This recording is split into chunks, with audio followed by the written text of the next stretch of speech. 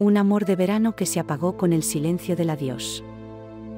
En una ciudad donde el sol besa el mar, vivía Rocío, bella joven sin luz en sus ojos, pero con un corazón que vestía en hermosos colores su universo.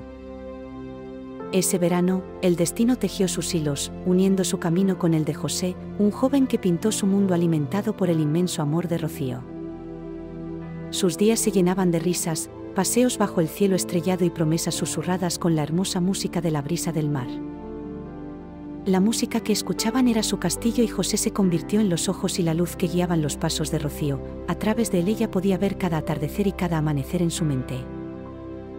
Pero como todo verano tiene su fin, el destino les preparó una prueba que ninguno esperaba. Una enfermedad se llevó a Rocío en un último viaje, dejando a José su adiós y la libertad de construir su nuevo futuro. De regalo él se quedó con la hermosa luz de sus recuerdos pintados de color y sombra.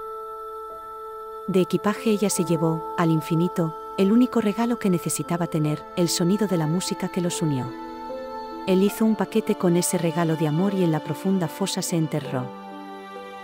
Pero ni Rocío ni esa música se quedaron en el oscuro vacío de la tumba, porque al cielo con su hermoso regalo de equipaje ella se lo llevó. En su memoria, Rocío aún vive, guiando a José a través del recuerdo de sus momentos de amor. En el rumor de las olas José, aún puede escuchar la música y sus sueños del cielo bajar.